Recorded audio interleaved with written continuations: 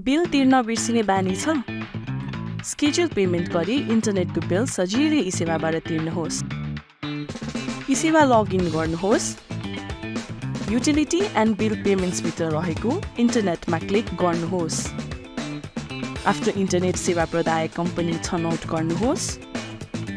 स्क्रिनको तल्लो भागमा रहेको माई पेमेन्ट्समा क्लिक गरी एड प्लसमा क्लिक गर्नुहोस्।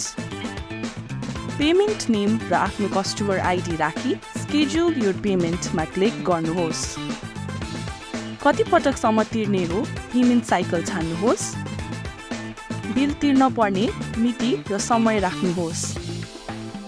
सेभ एन्ड स्केड्युल पेमेन्टमा क्लिक गर्नुहोस्।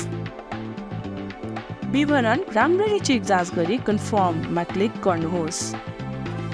आफ्नो एमपिन वा बायोमेट्रिक राखी प्रोसिड गर्नुहोस्। तपाईँले सफलतापूर्वक इन्टरनेटको बिल स्केड्युल गर्नुभएको छ।